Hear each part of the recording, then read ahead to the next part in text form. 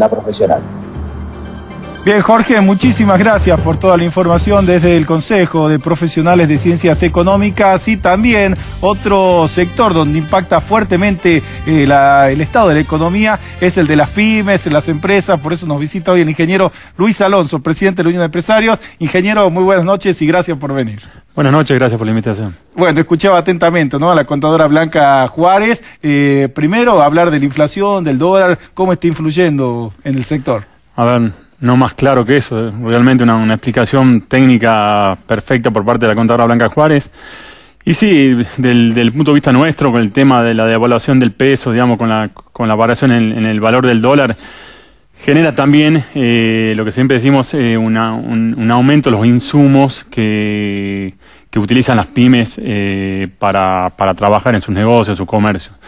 O sea, lo que eso que, lleva a que aumente, aumente los precios. Y con el tema inflacionario, lo que está produciendo es eh, una retracción en el comercio interno, que también lo dijo la contadora, de manera que eh, el asalariado, la, persona común, digamos, pierde nivel adquisitivo y bueno, eso se resiente en la actividad económica, en las pymes, que es lo que motoriza la venta, la venta minorista en nuestra, en nuestra ciudad. O sea, un sector, digamos, eh, de nuestro de nuestra economía con respecto al comercio eh, está debilitado por el aumento de insumos.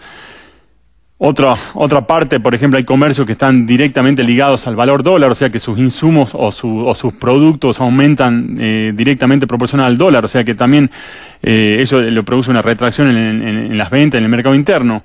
Así que, bueno, trabajando y esperando que cierta, haya una cierta estabilidad de manera también ver cómo uno se maneja y también proyectar para el segundo semestre de este año, que es lo que, lo, apuntamos las pymes para poder seguir trabajando, generar rentabilidad y bueno, aumentar los puestos de trabajo, que es la, digamos, el fin o la o lo que tenemos que hacer de la Unión Empresario y de, todos nuestros comercios o pymes que estamos eh, que estamos mandando, que estamos trabajando en ella, ¿no? Así que bueno, con, con, expectativa para ver qué pasa en el segundo semestre del año. ¿Afecta este traslado a los precios de lo que es eh, la inflación, el dólar, la sube de los insumos, las tarifas, que también son un, una parte muy importante también de los aumentos que tienen? A ver, hay que, hay que discernir o diversificar según el tema, el tema rubro, en qué rubro, digamos, estemos, estemos hablando. Por ejemplo, hay ciertas, hay ciertos sectores, estoy incluido con en mi negocio, eh, nosotros no hemos tocado los precios. Eh, ¿Por qué?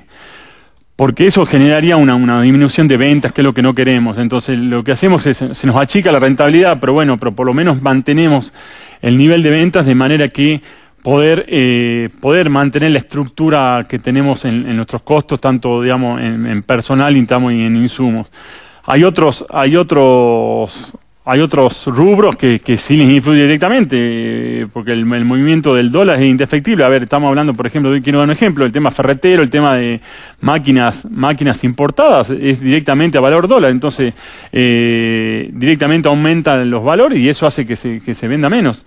Así que me parece que es, es muy importante, por eso dije anteriormente, esperemos que hoy ya hubo algunos, algunos atisbos de, de, de, de un amesetamiento, digamos, en el valor del dólar o una pequeña reducción, de manera que, digamos, podamos eh, saber con qué estamos trabajando, con qué valor dólar estamos trabajando y de manera de, de, poder eh, planificar hacia adelante, ¿no? que es lo que necesita una pyme para poder eh, crecer, para poder generar una mayor actividad económica y también un, un aumento en la, en la masa en la masa de empleados de manera de eh, generar mayor actividad económica, como dije anteriormente, ¿no? Hay fechas claves que lo toma la CAME para hacer, ¿no? Mediciones en comparaciones con el año anterior. Justamente ayer fue el Día del Padre, hubo una reducción, ¿no? En las ventas. A ver, eh, la CAME hace normalmente, mensualmente, todo, eh, cómo, cómo se desarrolla las ventas en los distintos rubros que, que tiene, que son como 12, creo. Eh, con respecto a ayer, hay, una, hay una, un nuevo comunicado de CAME de los cuales la Unión Empresario es parte de la Confederación Argentina de la Mediana Empresa, que hubo una reducción del 6,4% en, en, las ventas. Estamos hablando en, igual periodo del año 2017. Y a su vez, en el año 2017 con respecto al 2016, también hubo una retracción, una disminución de un 3,7%. O sea que viene, viene retraído en estas, en estas épocas. Eh, con respecto a la, a, la, a la, provincia de Jujuy, nosotros hacemos normalmente también una, una evaluación o una, un, una estadística que vamos, vamos eh, llevando rubro por rubro, cómo, cómo vamos cómo va afectando el comercio, la, las distintas, las distintas cosas que están pasando en la provincia. Eh, desde nuestro punto de vista un poquito más alto de, este lo, de CAME es digamos ese valor eh, es a, nivel país y en, en, general es un promedio de todos los rubros. Nosotros el tema del comercio está es un poquito mayor. Eh, lo que sí digo es que ah, si nosotros comparamos las ventas del día del padre con, con un con un fin de semana normal obviamente aumentaron. Entonces qué digo que esperemos que haya una vez, un día del padre todos los meses, de manera por lo menos compensar la caída de ventas que tenemos en otros días.